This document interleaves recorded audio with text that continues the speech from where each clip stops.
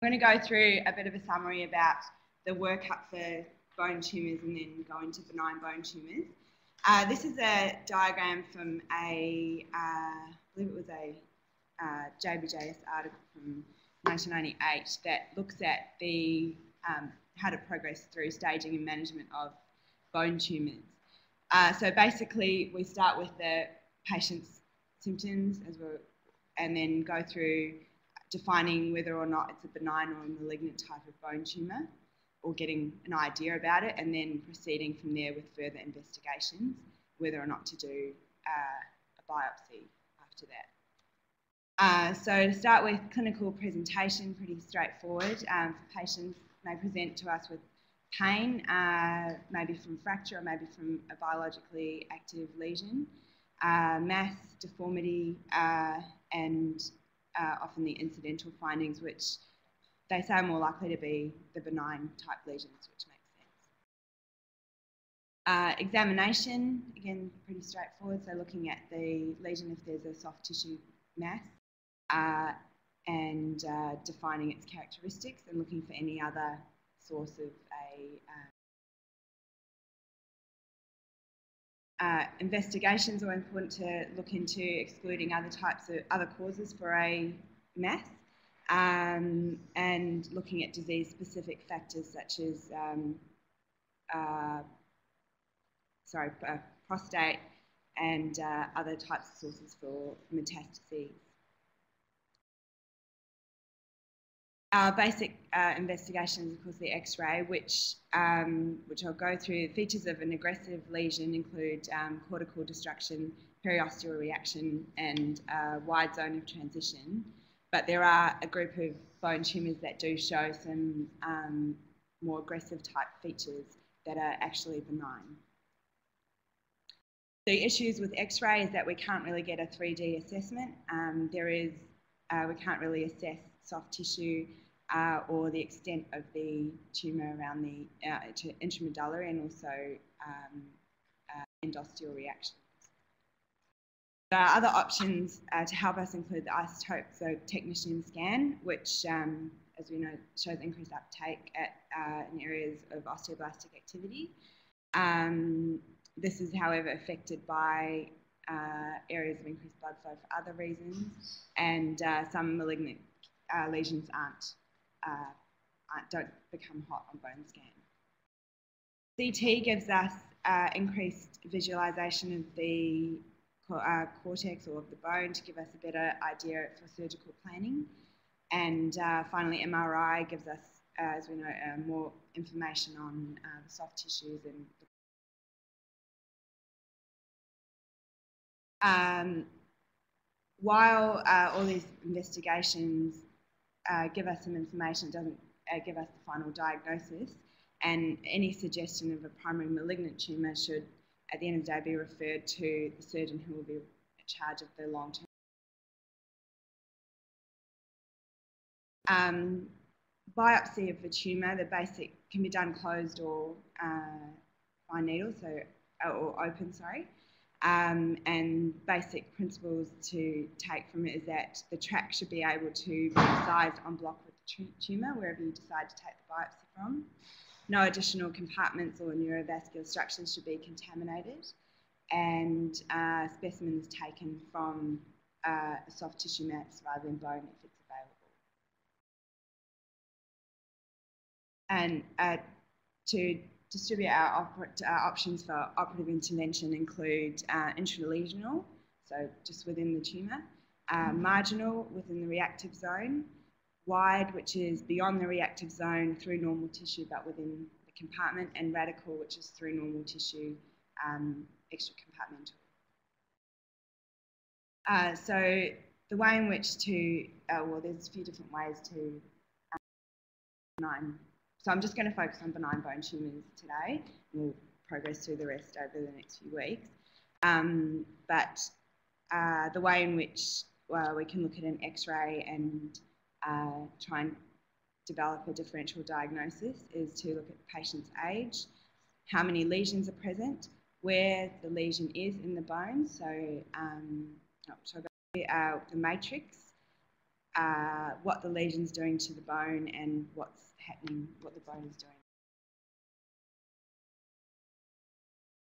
So to start with, age gives us a broad spectrum of uh, differential diagnoses. So uh, this is a, a, good, I guess the majority of the benign bone tumours centred around the um, broad range of, of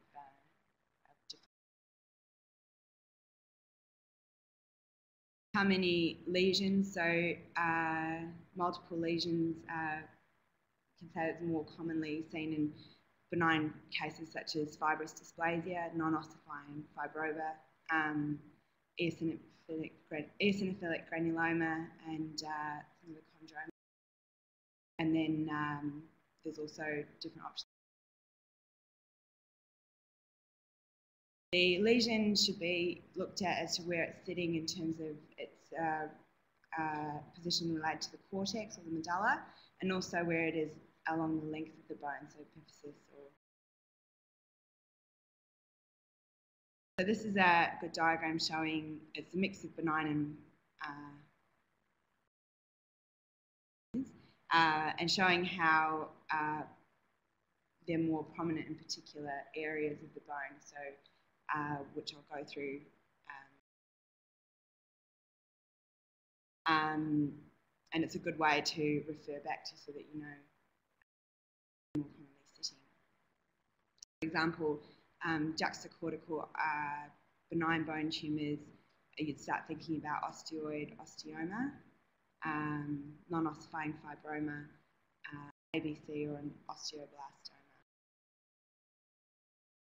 In relation to the length of the bone, uh, so in the epiphysis, we're more likely to see giant cell tumours, chondroblastomas, in contrast to the diaphysis, which is where we'd see the osteoid and the eosinophilic granulomas.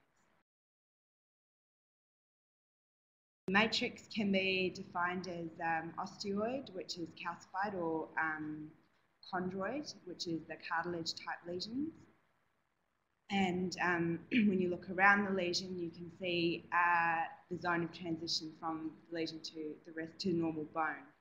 So a um, wide zone of transition suggests that there's uh, that um, whereas a narrow, well-defined margin. Uh, what the bone is doing, so um, endosseally looking for periosteal reaction.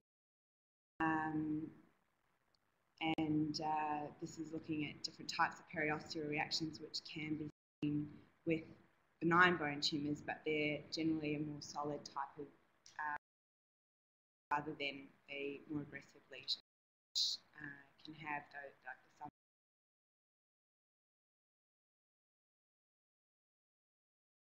Uh, so I'll just go through some of the more common types of tumours there and how they fit into that classification that um, some of the common pictures. Uh, so I divided them up into osteogenic, chondrogenic, fibrogenic, and um, vascular. Uh, and then there's also some tumour-like conditions which we should all be aware of that may present as a uh, but um, with some other systemic. So osteoid producing, obviously there's a lot more than what I'm going to go through, but um, I'm just going to do some more common ones. Uh, so osteoid producing benign bone tumours include osteoid osteoma and osteoblastoma. So um, the age, can you guys see that? Um, so the age group commonly presents with is uh, 5 to 30 years, more, more in that, well, they say the uh, mean age is um, I think it was around 18, might be.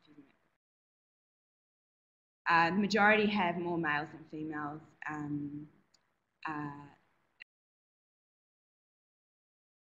diagnosed with this with these tumours. The location of osteoid osteomas are commonly in the proximal femur, the tibial uh, diaphysis, and sometimes in the spine. It's generally uh, seen within the medulla or within the cortex and it's generally in the diaphysis or metaphysis. More likely to be seen in the proximal end of the bone rather than distal. The matrix is osteoid, so um, calcified. And uh, the surrounding bone, there may be some reactive um, bone, but in the centre is a radiolucent nidus, which uh, is basically uh, an area of um, a lytic area surrounded by reactive skin. Uh, the issue with osteoid is uh, growth disturbance and flexion contractures rather than um, malignant transformation. And uh, further investigations may include CT scanning, uh, and they're always bone scan positive. Histology, uh, so this is a picture here. Um, histology includes um, osteoid trabeculae with high degree of mineralisation in the centre. Quite distinct from the surrounding bone, and they have um, the nidus, so that centre, is uh, woven bone surrounded by osteoblasts. Um, the treatment for osteoid osteomas include um, non-steroidals, which have been shown to uh, uh, otherwise um, ablation or, removal of the bone. There's a few different definitions that I've read, so um, that they say that the nidus is less than 1.5 centimetres in order to classify it as. But um, another place, I think it was Miller's said two, uh, there's a few different. So there's four main features. Oh, yes, I've written two. This next bit. so there's four main features of an osteoid osteoma. So it's sharp, round, or an oval lesion, less than two centimetres diameter, uh, homogeneous dense centre, and one to two millimetres um, Osteoblastoma uh, is seen in young adults, commonly seen in the vertebrae or metaphysis and diaphysis of long bones again. Um, again, it's osteoid in matrix, but um, um, with a uh, radiolucent or uh, central calcium. Again, there may be a bit of reactive bone, uh, um, but in contrast to the osteoid osteoma, there is rare malignant transformation. There have been a few um, published. Um, so treatment would include uh, biopsy to confirm diagnosis after further investigations and can be done as intralesional or a. Um, histology uh, includes um, mineralized bone spicules and eosinophilic osteoid. Um, effectively, the tumour cells differentiate into osteoblasts and This is a picture of so these cells are the osteoblast So to contrast those last two, um, the way to tell the difference between the two, they say that um, pain is more persistent in the osteoid osteomas and uh, the size, as we said, where there's a bit of a discrepancy between conditions, but effectively greater than two centimetres, you'd start to call it an osteoblast. Um, and there's slightly older age group in osteoblast. Chondrogenic lesions um, include a few that we see a fair bit. So chondromas um, include enchondromas and periosteal chondromas. Uh, periosteal chondromas seen on the surface of the bone, um, while enchondromas are within the medullary cavity and uh, commonly seen proximal humerus, proximal femur, and the hand, uh, seen in the diaphysis and the metaphysis. Chondroid uh, in their matrix, so stippled um, type picture, and uh, sometimes have a bit of uh, lytic features to them. Uh, they rarely transform to chondrosarcomas, and they've um, that long bone enchondromas have 1% risk. However, in Olliers and Maffucci syndrome, which I'll explain in a minute, um, there's a greater risk. Um, overall, the histology refers to lots of cartilage and, um, and chondrocytes, which is this picture. Uh, enchondromas are treated with observation um, plus or minus further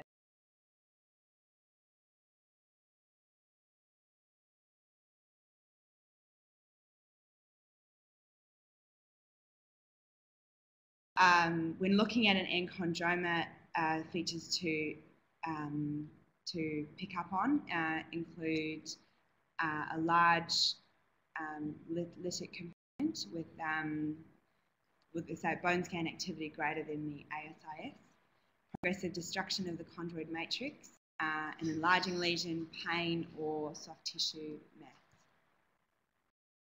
So coming back to those two conditions, Ollier's disease refers to um, multiple enchondromatosis, uh, and it has a 30% risk of, um, of progression to chondrosarcoma.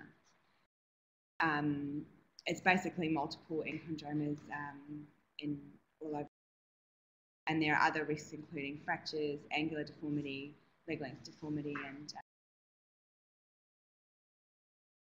uh, syndrome is refers to a condition in which there's uh, multiple enchondromas as well as angiomas, soft tissue angiomas, where it's, uh, there's a up to 30% risk of transformation to chondrosarcoma, but um, there's also a risk of multiple other malignancies. So they say the overall tumour risk is uh, 100%.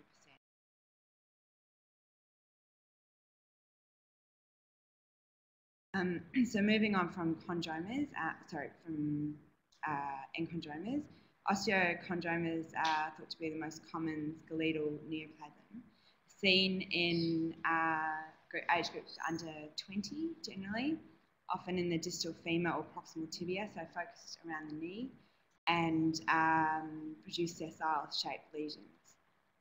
Um, they say that, so there's a less than 1% risk of transformation with a solitary lesion, but in uh, osteochondroma with cartilage cap more than two centimetres,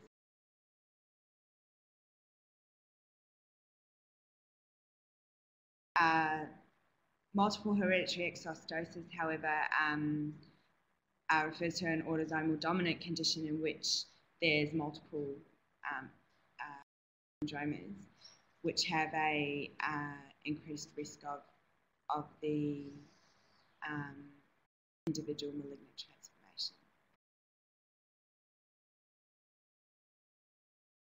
Uh, there is there. So 5 to 28% of cases are shown to uh, with an overall lifetime risk of 2 to 4%. Um, these are some of the features of the um, malignant transformation of, of osteochondromas. I might just skip through a little bit. Uh, chondroblastoma, commonly seen in the uh, younger age group as well, so 10 to 18.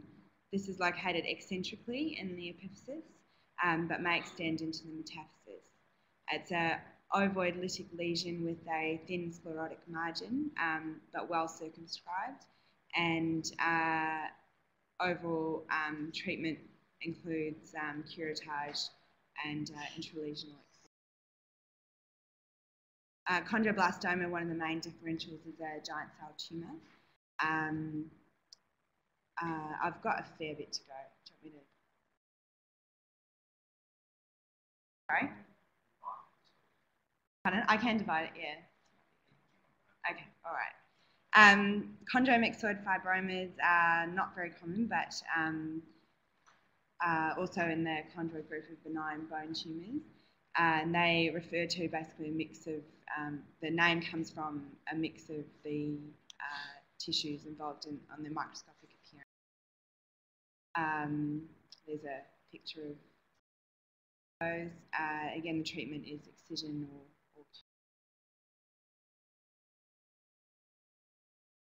Fibrous lesions include um, fibrous defect or non-ossifying fibroma, which we've all seen a lot of, uh, and desmoplastic fibroma, which is a lot, uh, which is quite rare, um, but again a benign lesion that shows this osteolytic.